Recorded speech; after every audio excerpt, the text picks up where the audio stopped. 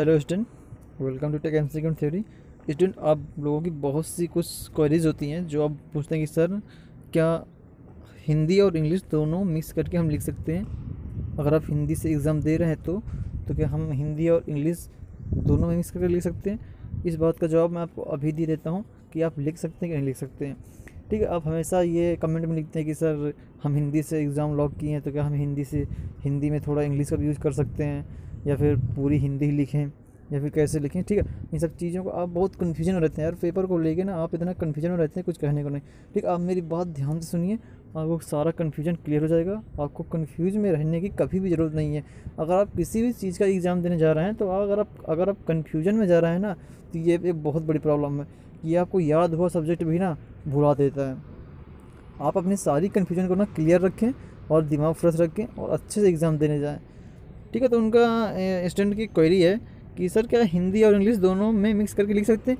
जी हाँ बिल्कुल आप लिख सकते हैं। अगर आप हिंदी में एग्ज़ाम को लॉक किए हैं तो ऐसा नहीं कि हिंदी में सिर्फ़ हिंदी ही आप लिखें। हिंदी में आप थोड़ी बहुत इंग्लिश मिक्स करके लिख सकते हैं। मैंने भी ओ लेवल का एग्ज़ाम दिया है, मैंने भी हिंदी से ही दिया लेकिन मैंने क्या इंग्लिश उसमें यूज़ किया था? जी हाँ मैंने बिल्कुल उसमें इंग्लिश यूज़ किया था। मैंने कुछ चीज़ें थी जो कुछ ऐसे वर्ड होते हैं जो मैं इंग्लिश से लिख देता था, यानी बीच बीच में इंग्लिश। कुछ चीज़ें हैं, जैसे आपने कोई चीज़ लिख रहे हैं, जैसे मान लीजिए आपने कोई प्रोटोकॉल का नाम लिखा तो आप क्या, आप प्रोटोकॉल हिंदी से लिखें या इंग्लिश से? तो आप प्रोटोकॉल को हिंदी से भी लिख सकते हैं, इंग्लिश को भी लिख सकते हैं, उसमें कोई दिक्कत नहीं है। एग्जामिनर आपका काट नहीं सकता कि आपने हिंदी से पेपर लगे, अगर आप बीच बीच में इंग्लिश डाले हैं तो वो आपका क्वेश्चन काट देगा। ऐसा बिल्कुल नहीं है। आप हिंदी में भी थोड़ा इंग्लिश यूज़ कर सकते हैं, लेकिन अगर आप इंग्लिश से लॉक किए हैं तो अगर हिंदी इंग्लिश मीडियम से दे रहे हैं ना तो फिर उसमें आप हिंदी यूज़ नहीं कर सकते। लेकिन अगर आप हिंदी से दे रहे हैं तो इसमें थोड़ी बहुत इंग्लिश आप यूज़ कर सकते हैं। लेकिन आप अगर इंग्लिश से दे रहे हैं तो इसमें फिर हिंदी यूज़ नहीं कर सकते। ये चीज़ का आप हमेशा याद रखिए। ठीक है? ये आपको दोबारा कन्फ्यूज़न आप कभी मत रखिए कि आप हिंदी से पेपर लॉक किए तो उसमें इंग्लिश थोड़ा बहुत लिख सकते हैं कि नहीं लिख सकते जी आप बिल्कुल लिख सकते हैं। अगर आप हिंदी से एग्ज़ाम लॉक किए हैं तो आप थोड़ी बहुत उसमें हिंदी इंग्लिश मिक्स करके आराम से लिख सकते हैं। उसमें कोई दिक्कत नहीं है। एग्जामिनर आपको काट नहीं सकता। ठीक है? तो अभी कन्फ्यूज़न में मत रहिए।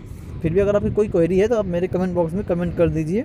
मैं उसका सॉल्यूशन ज़रूर दूँगा, या फिर आप मेरे व्हाट्सअप नंबर पर कॉल करिए, या फिर आपको किसी भी मॉड्यूल से कोई क्वेश्चन की क्वेरी आ रही है तो आप मुझे बताइए, मैं आपकी, मेरे नंबर पर कमेंट कर दीजिए, मेरे नंबर पे अभी मेरे कमेंट बॉक्स में मैं उस पर सोल्यूशन ज़रूर दूँगा, मैं आपको सोल्यूशन ज़रूर निकालूँगा।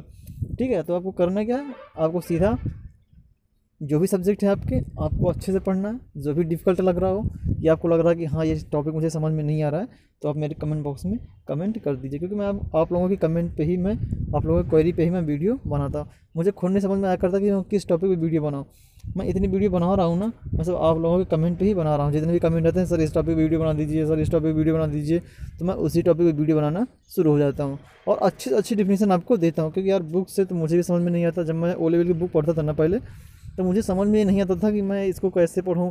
उसमें बहुत मुझे टफ लगता था। तो मैं क्या करता था, मैं अपनी खुद की डिफिनेशन बनाता था, बिल्कुल ईजी वे से। ठीक है तो आप भी ऐसा करिए। अगर आपको बुक की डिफिनेशन नहीं समझ में आ रही तो अपनी एक अलग से डिफिनेशन बनाएँ। अगर आपको बनानी नहीं आती तो आप मेरे कमेंट बॉक्स में कमेंट कर दें। मैं आपको अच्छी से अच्छी डिफिनेशन बना के हिंदी से दे दूँगा। ठीक है तो आप ये कन्फ्यूज़न मत रहिए। अगर आप हिंदी से पेपर लॉग किए तो उसमें आप थोड़ी बहुत इंग्लिश यूज़ कर सकते हैं। Don't mind